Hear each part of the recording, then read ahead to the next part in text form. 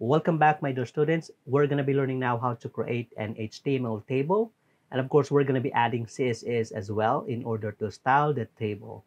And at this point, I'm already confident that you already know how to create a project. So let's create a project called table. You can place it on the projects folder that we have created at the early part of this course, which is located in our desktop, but it doesn't really matter as long as you know the location of your projects. So right over here, I already have created an index.html file. It's still currently blank. So let's go ahead and start coding. So I used Emmet to generate the template and Alt-Z to wrap the code. And for the title tag, we are going to name this table. And for the body tag right over here, before we start coding, we want to make sure that we see what is happening on our project. Let's go ahead and right click here and open with live server. And there you have it. So table has two parts. Anyway, let me just put an H1 here first. And let's type here HTML table. There you go. I want to make sure that we are at 100% view uh, point for this page. So I mentioned that the table tag, let's add first a table tag. Very straightforward to create a table. Just write table and then tab on the keyboard to autocomplete. So it has two major parts, T head as well as the T body. For the T head, we can create here a row. Remember that the table, just like Microsoft Excel, is composed of rows and columns. All right, so now under T head, we can actually create a row, which is going to be the tag TR or table row. And inside this row, we can have data, right? For example, the name, username, email, or address, or things like that. So let's go ahead and do that. We can use the TH that stands for table head or header, right? Maybe the first one is going to be name, right? And there you have it, the name. And we can copy this probably four more times. And this one is going to be, for example, email. And the other one is maybe uh, a city, and the last one uh, maybe we can delete this one. And the first t head would probably be like a, uh, we will pretend that this is a list of users. So the first one is going to be like a number sign right? And after doing that let's head over to the body. We can also create a row by using tr table row. And instead of th because the header is obviously belongs to the head right now in the body, this is where we put our data. That is why the tag is called TD. And then tab on the keyboard to autocomplete. So TD stands for table data. And this one is the counterpart for this first TH. So right over here, we can probably put one, as, as you can see right over there. Let me zoom in. So that is why we put here like a pound sign or a number because what's going to happen is if we're going to duplicate this one okay we can have two here and then three here and then four here and something like that all right? I hope that makes sense. Anyway let me just delete this one first and let's focus on the first row all right? This table data is under one row and we can add more. So this one number one corresponds to this and the next one is going to be our name. I'm going to type my name over here and there you have it. The number one is under this pound sign. And my name is under the name TH. How about for the email? So I can just go ahead and paste another one here. Oops, not that one. We can copy this actually and paste two more times for the email and the city.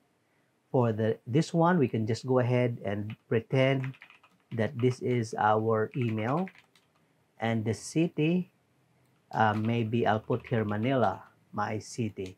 Let me zoom out a little bit and there you have it. Oops, sorry about that. Let me cancel that because I pressed Control S on my keyboard and this brings up the save uh, or the Explorer to save the file. Anyway, let's, let's cancel that. As you can see, I have the first TD table data right over here under that pound sign, the name, email, and the city. And I hope that makes sense right now. Okay, so now it looks terribly ugly. The table doesn't really look like a table. We can go ahead and style this. Let's add a style.css right over here. Uh, the first set of styling that we're going to do is just to make sure that this one will look really like a table, right? That has some like a line, uh, vertical and horizontal line as well as a border. So let's link our style.css right over here, like so. Then at the is we are going to target this element. And we know how to target the actual element, right? We can literally just put the table because we are targeting the table. And we can have a border of one pixel for now okay? One pixel if I can type correctly. And uh, it's going to be solid. And then the color let's have uh, black. There you go. And if we are going to do this we know that we can target multiple elements. For example right now we have a, an h3 here right? Uh, maybe let's have let's say fruits okay? And the h4 not hr but h4 right over here. For example uh, uh, plants. Okay so we are going to target these three uh, let's forget about the table first for now because i'm going to show you to target multiple elements and uh, maybe we have did that in the previous uh, videos but it was probably not highlighted so i'm going to focus on that right now to target multiple elements H1, H3, and H4. We're using them. We, we can do this in HTML. I mean in CSS. Let me just comment that out by highlighting and pressing Control uh, forward slash on the keyboard. Let's go ahead and target the H1. We also have H3 and H4.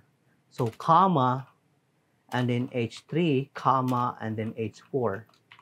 All right we are going to target them to have a background color of red and all of them has that red color all right the reason that i did that okay because we're going to use that same concept right now with this table so right now we are targeting the table itself so it has a border of one pixel solid black but there are other tags inside the table right we have the th as well as the TD.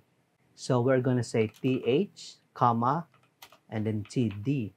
If we save that, now we have borders as well in TH, the table header right over here, each element, each TH, as well as each TD. And right now, as you can see, it still doesn't look nice, but at least it is already looking like a table, right? the traditional table that we know, just like what we see in spreadsheet. And this is the default behavior for HTML table, with uh, which still ugly, and uh, in my opinion, right? But we wanted to have like one line, right? We don't need this kind of like uh, this style of rendering. We don't need that. We, we only need like uh, one line for the uh, columns and lines for the rows as well. So how can we achieve that? we can achieve that. There's a property called border collapse. Okay, there you have it, border collapse. And all you have to do is type collapse over here. Upon saving this, looks what's to happen. There you go. That is the familiar table that we know, right? Very basic table. But anyway, even though it's very basic table, this is how you create a table in HTML.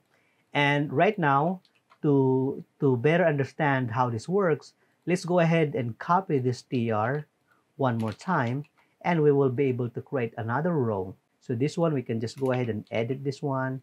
And I'll try to think of a random name, maybe uh, Keanu, and then uh, Gordon, okay?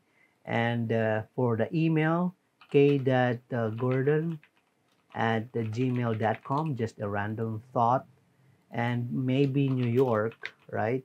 And we can copy again this one and paste it probably two more times so we can have uh, four table rows inside the T body, right? So let's just go ahead and edit the information so that it would make more sense. This is going to be number three, and let me think of a name.